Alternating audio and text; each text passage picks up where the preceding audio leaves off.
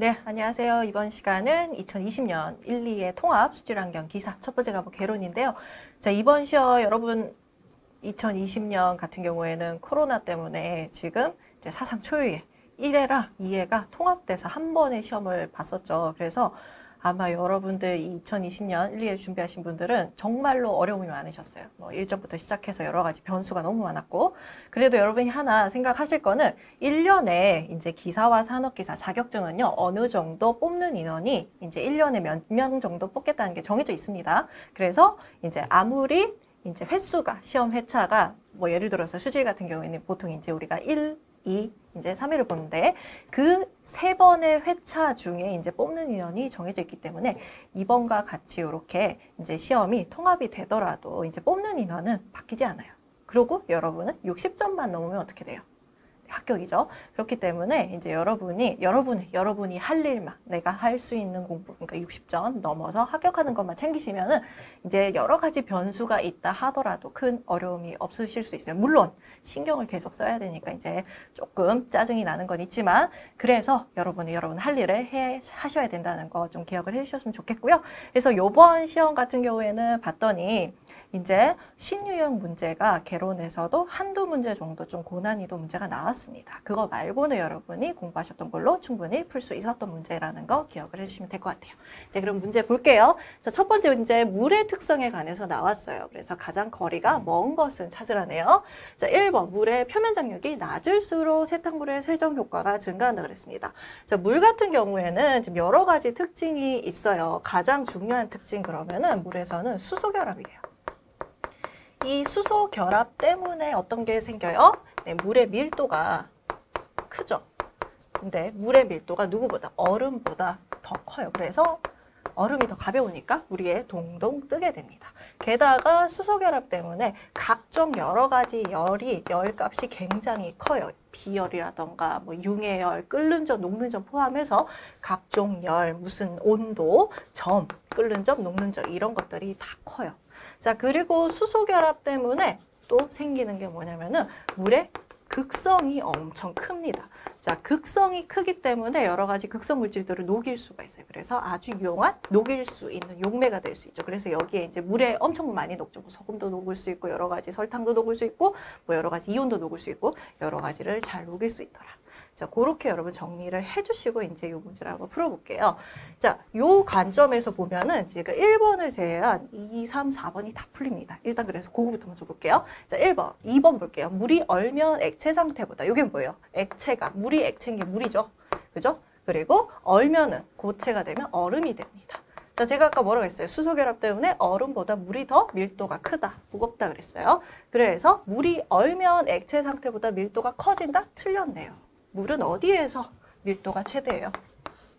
물은 4도씨에서 온도가 4도씨일 때 물의 밀도가 1로 최대가 됩니다. 그래서 얼음은 물보다 밀도가 작아요. 그래서 2번 틀렸네요. 자, 그래서 정답은 네, 2번이네요. 먼저 나왔어요. 그죠? 그래서 여러분 보세요. 수소 결합만 기억을 해도 이게 다 따라오는 겁니다. 그죠? 그래서 이렇게 보시고 3번 보겠습니다. 자, 융의 열이네요. 자, 물은 무들은 어떻다고요? 모든 열이 다 크다. 다른 액체보다 높은 편이다. 맞아요. 여기에 들어가는 거 융해열 뭐 아니면은 또 뭐 증발열 아니면은 뭐 끓는 점 비열, 뭐 녹는 점 다 들어갈 수 있습니다. 4번 물의 여러 가지 특성은 물 분자의 뭐 때문에 제가 지금 이런 것들이 다 뭐 때문에 나온다고 그랬어요. 수소 결합 때문에 나온다 그랬죠. 그래서 4번도 맞네요. 자 그러면 1번 볼게요. 1번 표면 장력이 낮을수록 세탁물의 세정 효과가 증가한다. 자, 여러분 우리 세탁할 때 뭐 이용해요? 세제 사용하죠. 그 세제가 뭐냐면 우리 계면활성제라 그래요. 우리 세제 왜 쓰죠? 왜 써요? 그냥 물로만 씻었더니 때가 잘 안 빠지니까. 그죠? 그게 왜 그러냐면 이 때는 뭐가 크냐면 표면 장력이 커요. 그래서 이제 그 옷감에 묻어 있는 때의 표면 장력을 줄여 줄이는 역할을 하는 게 표면 장력을 줄여서 물이랑 잘 섞일 수 있게 해주는 게 이 세제 역할이에요. 자, 그럼 보세요. 물의 표면 장력이 낮을수록 세정 효과가 증가한다. 맞죠? 표면 장력을 낮춰야 세탁이 잘 되는 겁니다.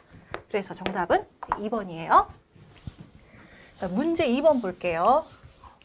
좀 항상 나오지만 까다로운 계산 문제죠. 뭐예요? 디오 부족량 구하는 거네요. 자, 요 공식 여러분 반드시 기억을 해주셔야 됩니다. 자, 우리 디오 부족량 어떻게? T1 후에 디오 부족량은 어떻게 계산을 하나요? 요 공식 여러분 기억을 하셔서 그대로 이제 대입만 해주시면 되죠. 네, K1 빼기 K2분의 그다음에 네, K1 L0 그다음에 10의 마이너스 K1T 빼기 그다음에 10의 마이너스 K2T 플러스 D0의 10의 마이너스 네, K2T 이렇게 되죠. 네, 요 공식에다가 대입을 해주셔야 되죠. 이때 K1은 뭐고 여기 나와 있는 K1 그 다음에 K2는요 여기 나와 있죠. 0.2.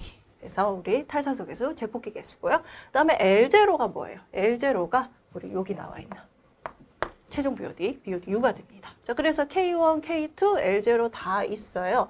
T는요? T는 6일 유화했기 때문에 T는 6이 돼요. 자, 그러면 여기서 지금 없는 게 뭐냐면 요거죠. D0.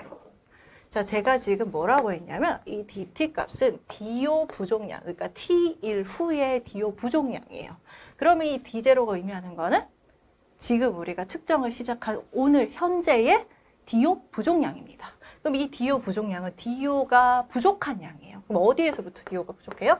네, 포화 DO 값에서 지금 현재 DO 값을 뺀 만큼 그만큼이 부족한 거죠. 그래서 요게 돼요. 요거를 여러분 주의를 해주셔야 돼요. 디제로에서 지금 현재의 디오 값을 넣으면 안 된다는 거. 자, 그러면은 이제 대입만 해주시면 돼요. 자, K1은 0.1, L0 값은 20, 그 다음에 K1 0. 아이고, 여기 K2가 돼야 되겠네요. K2 0.2 빼기 0.1 이렇게 들어가죠. 자, 곱하기 10의 마이너스 0.1 곱하기 6일 빼기 10의 마이너스 0.2 곱하기 T는 6. 자, 여기에 D0 값은요. 자, DO 포화 농도 값이 포화 DO가 8이고 지금 현재 DO 값이 5기 때문에 얼마만큼 부족한 거예요? 8 빼기 5, 그러니까 3mg per 리터가 D0 값이 됩니다. 자, 이렇게 넣으시면 돼요. 근데 이게 여러분 계산기 넣을 때도 좀 주의를 하셔야 되는 게 이거 전체로 여러분 계산기 넣어서 하는 게 제일 좋지만 실수할 가능성이 크죠. 그래서 저는 추천드리는 게 뭐냐면요. 요걸 추천드려요.